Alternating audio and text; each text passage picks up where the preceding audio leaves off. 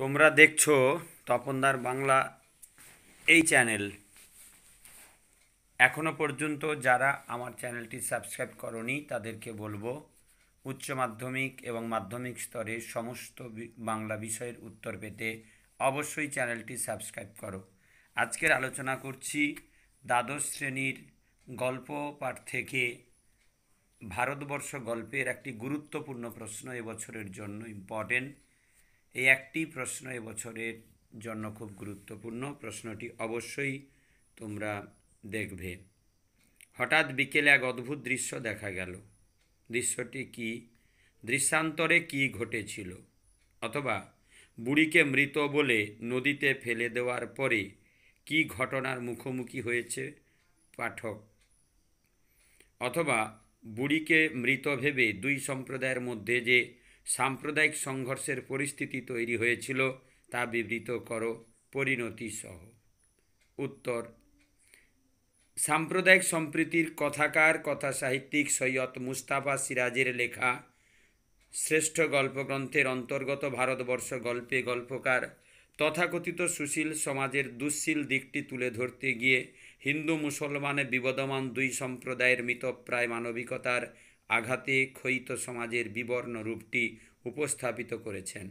প্রান্তিক জীবনের কথা শোনাতে গিয়ে গল্পকার দেখিয়েছেন স্বাধীন ভারতবর্ষের সাম্প্রদায়িক কলহের বেদনার্ত ছবি।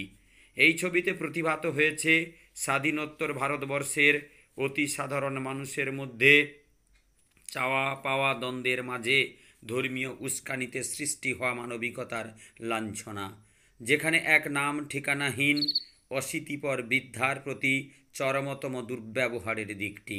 স্বাধীনতার এত বছর পরে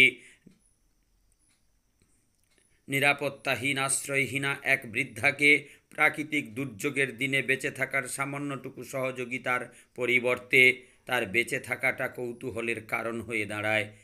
আর শুধু বেঁচে থাকার ইচ্ছাতেই কোনো রকম রসদ ছাড়াই বৃদ্ধাটি যখন গাছতলার আশ্রয় নিল তখনও তাকে কেউ নিরাপত্তার আশ্রয়টুকু দিল না।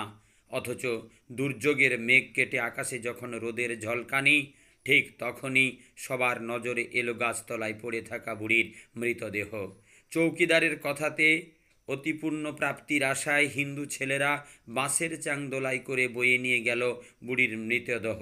ফেলে দিয়ে এসে, নদীতে ফেলে দিয়ে এসে অপেক্ষা করল চিনসুকুন কখন নামবে। ঠিক তখনই দেখা গেল এক অদ্ভুত দৃশ্য। হিন্দুর ফেলে দেওয়া চ্যাংদোলাটাকে মুসলমান ছেলেরা বয়ে নিয়ে এলো বাজারে। মৃতদেহের সৎকার নিয়ে চলল দুই সম্প্রদায়ের মধ্যে টানা পড়েন। হিন্দু না মুসলমান? এই প্রশ্নের পক্ষে বিপক্ষে জুটে গেল প্রমাণ প্রতি প্রমাণ। দুই সম্প্রদায়ের প্রতিনিধি হয়ে মানুষকে খেপাতে লাগল মোল্লা সাহেব ও ভট্টাচ মশাই। অধিকার নয়, কর্তব্য নয়, ধর্মীয় অন্ধ আনুগত্যে সাধারণ জনতা হয়ে উঠল সশস্ত্র। বচসা বেড়েই চলল, মৃতদেহ নিয়ে চলল টানাটানি। নীল উর্দিপরা বেচারা চৌকিদার, তাদের সামলানোর ব্যর্থ চেষ্টায় কাঁপতে থাকল।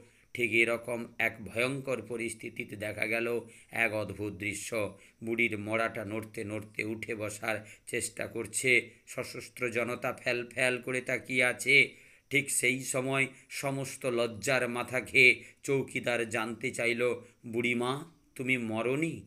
কিংবা আরও নির্দয় প্রশ্ন, বুড়ি, তুমি হিন্দু না মুসলমান? শতছিন্ন পোশাকে মৃতপ্রায় বিদ্যাটি তখন স্বাধীনোত্তর ভারতবর্ষের পঙ্গু প্রতিনিধি হয়ে সবার মুখের দিকে তাকিয়ে ফ্যাক ফ্যাক করে হেসে বলল, চোখের মাথা খেয়েছিস মিনসেরা? যা, পালা।